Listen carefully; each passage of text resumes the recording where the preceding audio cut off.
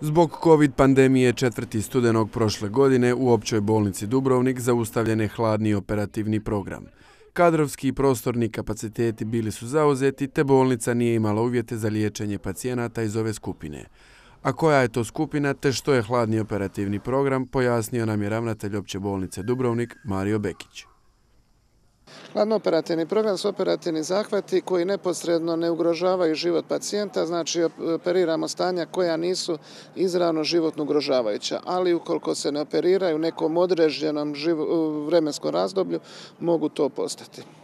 Od ponedjeljka će se programi ponovno vratiti u funkciju, kaže Bekić padom broja zaraženih pacijenata, padom hospitaliziranih pacijenata, kapaciteti su oslobodili, e, kadrovski također ljudi su se znači vratili medicinske sestre na svoje matične odjele i sada imamo znači sve uvjete da se od ponedjeljka svi ovi hladni programi mogu nastaviti, o čemu će pacijenti biti informirani od strane odjela, odnosno centralnog naručivanja gdje se predbilježili za zahvat.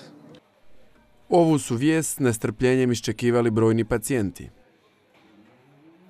Za same pacijente znači, znači da su izgubili određeno vrijeme, nažalost, koji su trebali biti operirani zbog različitih razloga.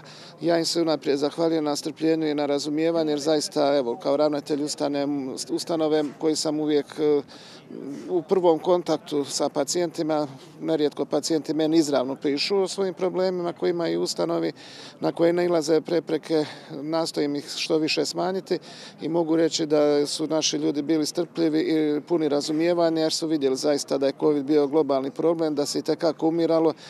No što je s listama čekanja? Bekić smatra kako je situacija u općoj bolnici Dubrovnik solidna i dodaje da broj pacijenata i nije toliko velik kao što se čini. Vidite, liste čekanja znači za operativne zahvate su uglavnom vrlo skromne. Znači, bile su iznad hrvatskog prosjeka. Znači, ne možemo reći da se dugo čekalo za većinu zahvata, tako da u ovom slučaju ne bi također trebalo doći do nekih problema. Mislim da će zaista u vrlo, vrlo kratkom roku sve biti nadoknađeno. Najugroženiji odjeli bili su oftalmologija, otorinolaringologija te jednodnevna kirurgija – a sada će se situacija drastično promijeniti na bolje.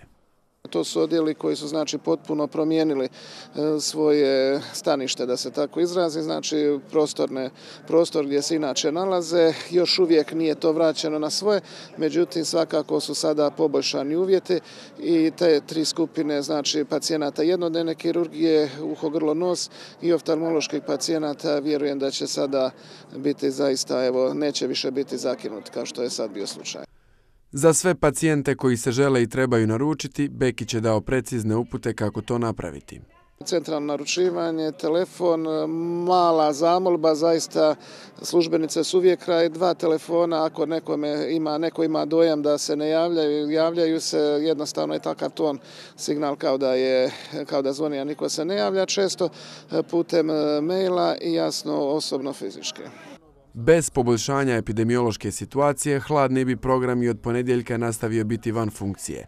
Pa se postavlja pitanje, bližimo li se kraju ovog vala? Pa evo, ne želim prejudicirati, kao što smo recimo bili prije negdje tri mjeseca, međutim svi pokazatelji su da je ovaj e, val pandemije završio. Pritisak na javnozdravstveni sustav diljem Hrvatske, pa tako i u Dubrovniku, ostavio je veliki trag. Veseli činjenica kako bi ovo uistinu mogao biti kraj strepnjama mnogih naših sugrađana.